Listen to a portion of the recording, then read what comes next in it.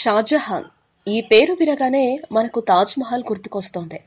భారతదేశాన్ని పాలించిన మొఘల్ చక్రవర్తుల్లో షాజహాన్ ఐదోవాడు బాబర్ హుమాయూన్ అక్బర్ జహంగీర్ల తర్వాత సింహాసనాన్ని అధిష్ఠించిన షాజహాన్ పదహారు వందల ఇరవై ఎనిమిది నుంచి పదహారు వందల యాభై ఎనిమిది వరకు ఏకఛత్రాధిపత్యంగా అధికారం చెలాయించాడు. చివరి దశలో తన కొడుకు ఔరంగజేబు చేతిలో కారాగారంలో బందీగా పదహారు వందల అరవై ఆరులో మరణించాడు. ఎంతసేపటికి మనం షాజహాన్ను తాజ్ మహల్తో మాత్రమే ముడిపెట్టి చూస్తాం.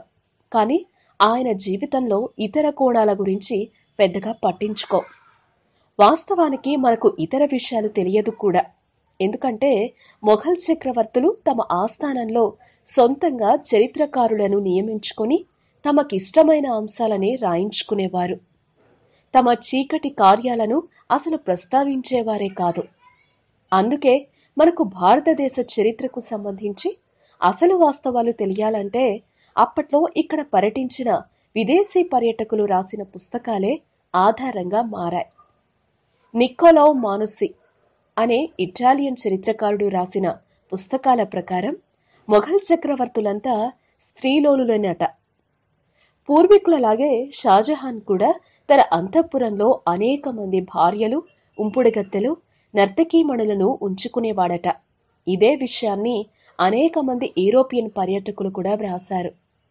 అందమైన అమ్మాయిలను వెతుక్కుని మరీ తెచ్చుకొని తన కామాన్ని తీర్చుకోవటమే షాజహాన్ చేసే ముఖ్యమైన పనిగా కనిపిస్తోంది. బీద ధనిక హోదాలతో సంబంధం లేకుండా కేవలం అందంగా ఉంటే చాలు సదరు అమ్మాయిని తన సొంత ఆస్తిగా చక్రవర్తి అనుభవించేవాడు.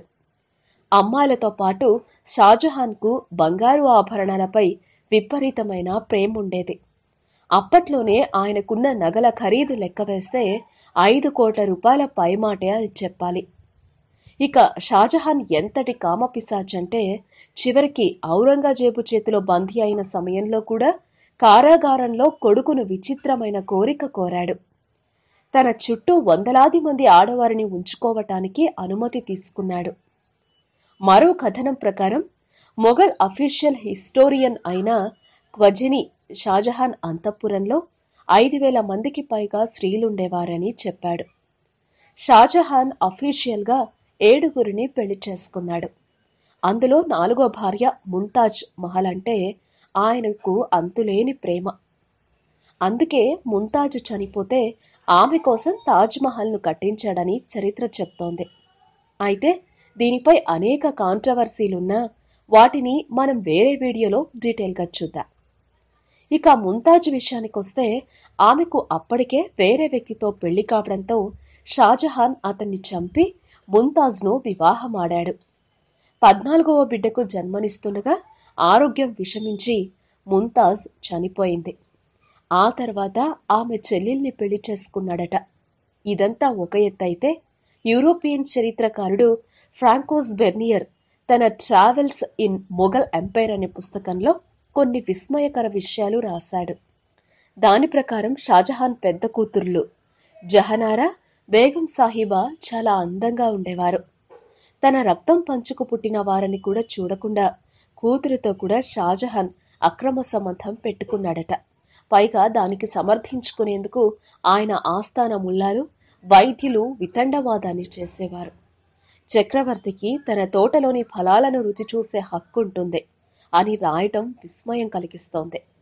షాజహాన్ చనిపోయిన తర్వాత తాజ్మహల్లో తల్లి ముంతాజ్ పక్కనే తండ్రికి కూడా ఔరంగజేబు సమాధి కట్టించాడు. వాస్తవానికి తాజ్మహల్ ఒక్కరి కోసమే డిజైన్ చేసిన మరో నిర్మాణం ఎందుకని భావించి తల్లి పక్కనే తండ్రిని సమాధి చేశాడు. మరోవైపు ఈ మధ్యకాలంలో షాజహాన్ పేరిట దేశ రాజధాని ఢిల్లీలో ఉన్న షాజహాన్ రోడ్డు పేరు మార్చాలన్న డిమాండ్లు కూడా వినిపిస్తున్నాయి. ఎందుకంటే షాజహాన్ చక్రవర్తి కామానికి చిహ్నమని అలాంటి వ్యక్తి పేరు నిత్యం పలకటం సరికాదని బీజేపీ నాయకుడు అశ్విని ఉపాధ్యాయ అభిప్రాయపడుతున్నారు. ఏదేమైనా చరిత్ర లోతుల్లోకి వెళితే మనం ఇన్నాళ్ళు నిజమని భావిస్తున్న రాజులు చక్రవర్తుల ఘనచరితలు నిజమా అబద్ధమా అనే అనుమానం కలగక మానదు. ఈ వీడియో మీకు నచ్చితే ఓ లైక్ కొట్టండి మీ ఫ్రెండ్స్కు షేర్ చేయండి. మీ సజెషన్స్ ఏమైనా ఉంటే కింద కామెంట్ చేయండి.